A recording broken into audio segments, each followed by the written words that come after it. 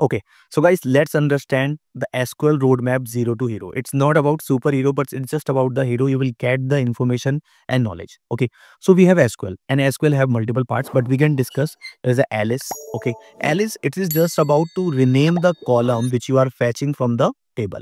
Then we have grouping by. Okay, so group by I have already explained many shorts and videos. So group by column and having is just about filtering or grouping the data, which kind of data you want okay then order by so in order by you can add the column name. It can be the character base order by or the number base order by. And you can define ascending or descending like a to z z to a 0 to 1 sorry 0 to 100 100 to 0 like that. Okay then we have joins full join inner join left join right join full join multiple types of join we have.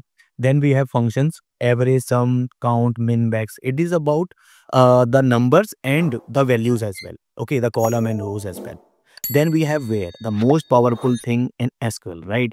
We have like, in, between, any, exist, and or not. So like I have put and or not uh, bottom because it is just based on condition as well, right? So you can put multiple condition and put the and between them.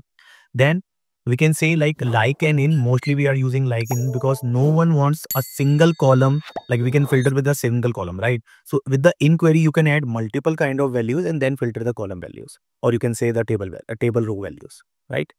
Okay so for complete roadmap please comment down me uh, in comment section okay i will create complete course of sql actually about to create okay it's not based on your comment and uh, other than this I'm also planning for uh, sharing a complete roadmap for SQL if you are applying after, you know, five years of experience, six years of experience, or you are fresher also. Okay. So subscribe and like the channel. That's it.